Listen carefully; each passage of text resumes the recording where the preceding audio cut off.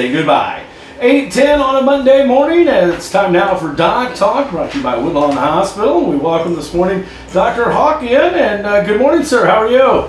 Good morning. How are you? I'm doing great, thanks. And uh, well, for those uh, listeners that uh, maybe didn't catch you the last time you were on, tell us a little bit about yourself and uh, uh, what brought you to Woodlawn Hospital. Well, thank you for the opportunity. I'm Dr. Hawk. I'm the new general surgeon at the Woodlawn Hospital. I've always enjoyed rural surgery, and um, Woodlawn seemed to be a perfect community, and uh, the hospital offered a lot of opportunities. Awesome, awesome. Today we're going to talk a little bit about melanoma and uh, getting the importance of getting uh, checked and screenings. And uh, it is getting that time of year where it's almost summertime and people are going to be out in that. And uh, obviously that's one of the causes of uh, melanoma. Absolutely. Uh, about 78,000 people every year are diagnosed with melanoma, mostly men. And um, it's most prominent among Caucasians from Hispanic descent. Um, the disease, one of the advantages is that it's on the surface of the skin. So it's uh, a lot less invasive to uh, monitor and surveil. Uh, diseases such as uh, colon cancer, you have to monitor, you get a colonoscopy. Yeah. Whereas you can just look at your skin. so uh, surveillance, and fortunately for us, is less invasive, but also very important. And I would like to talk about that today. Yes, we can talk about that, uh, and it'll be interesting too because, like I said, it's it's almost that time of year when uh, where everybody will be out in the sun, and uh, we need to make sure that we're protected from the sun, that because that's one of the uh, causes. Yes, absolutely. Um, um, although the incidence for young people is decreasing, it's frequently a disease of the young, and it's also you know, very concerning to diagnose a young patient with uh, melanoma. But also, uh, frequently it's uh, easily treated just with simple removal and not having to uh, take anything further. Tell us a little bit about uh, the, the process of that. Obviously, uh, if you if you have a spot on your arm, uh, you want to get that checked out, and if it does come back, tell us the process of, of getting that removed. Sure, sure. Uh, so, you know, for folks who don't have a lot of mole, when a new mole appears, it's easy to you know, identify that. And um, but folks with a lot of moles, they really need to see a physician or a dermatologist or surgeon or primary care doctor to have what's called a dermatological survey, look at their screen, and look at the skin, and uh, keep a sort of inventory of all the moles that they already know. Especially now, this is a challenge because you know it's it, people with freckles uh, increase the light skin, you know, light eyes, they increase risk. But it has to be done. Yeah. And again, it's on the skin. Nothing, you know, it's not invasive. You just look at the person, right? right. Um, so it's easily surveilled, um, and it's, it's very important. People with risk factors are identified and they at least go once a year to their physicians or healthcare providers and have it surveilled. Now, how do we do it? So there are criteria, and the most important thing we look at is change. A mold that has been one way for a long time, all of a sudden it changed, right? Yeah. So the criteria to remember is A, B, C, D. Okay. So it's, it's an atypical, and then, and then the border. Uh, the, the border is not uniform. It's nice, round, uniform, or less likely to be, right? And see, D, C is color. Ah. Yeah, right? And uh, the D is the chronicity, the date. Basically, when it looked within within a certain amount of time, how it changed. Those are the. So again, you know, this is not a hundred percent catch-all.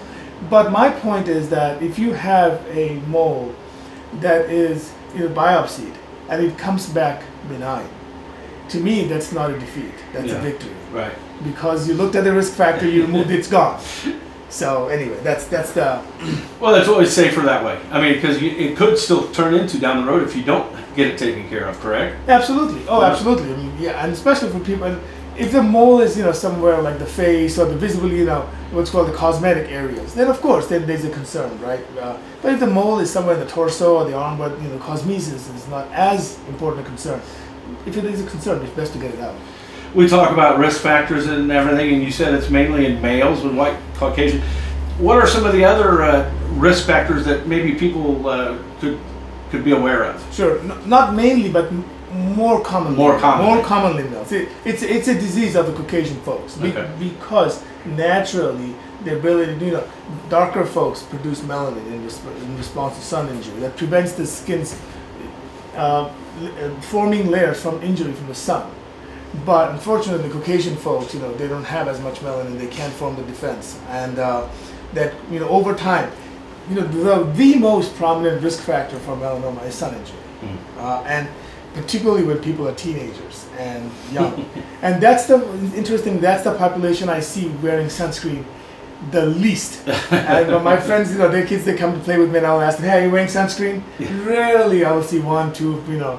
So, and but fortunately, you know, although the incidence of melanoma is increasing, there are two good trends. Number one, the death rate from melanoma is decreasing.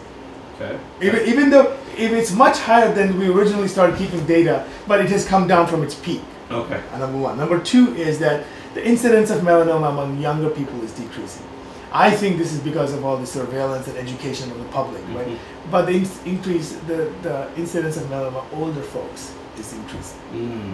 Because they don't think it, they can get it, or what do you think that philosophy is? I, I don't know the, the, the, the truth, but I can only offer a conjecture. My conjecture is that, you know, as folks get older, there are so many other health concerns that looking at the skin becomes second. That, that this is, I'm making it clear, this is a conjecture. I Right, right, it. right. Yeah. Yeah.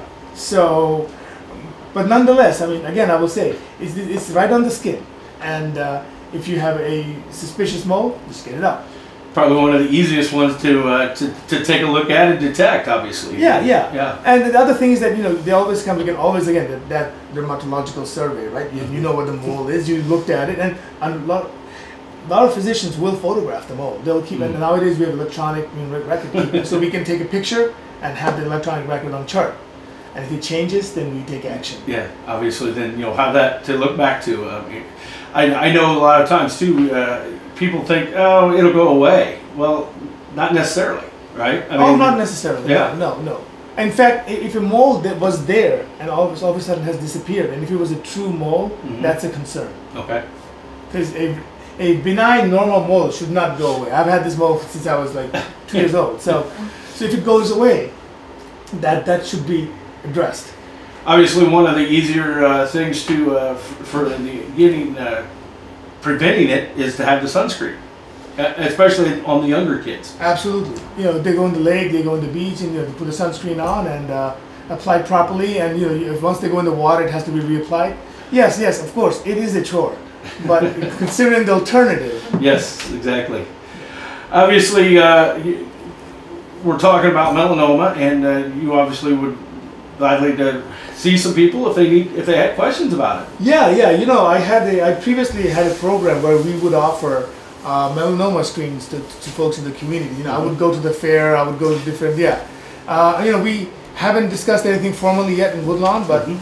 so far I've discussed it unofficially with two people, and they've been very, very encouraging. So, yeah, Be looking forward to, to hearing more about that, obviously, and Absolutely. and especially as like we talked about the the, the spring time coming, the sun's going to be out, Absolutely, more people are going to be out in it. Obviously, we'd want to take care of uh, our skin that way. and this is a farming community. People Yeah. are out a day. I mean, this is not, you know, they're out for pleasure. They're out from morning sundown to sunset. Yeah. yeah. So yes, absolutely. And you know, if they come to my office, of course, I'll always offer the screen.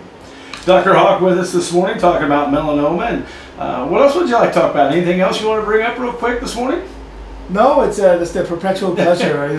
I, I, I enjoy very much uh, serving the people here and meeting new folks. Uh, well, appreciate you coming in, and uh, we'll look forward to talking to you again in the future. Thank you, sir. Thank you. Dr. Hawk of the Woodlawn Hospital here on Doc Talk this morning. Now it's Ed Sheeran and Khalid. Beautiful people.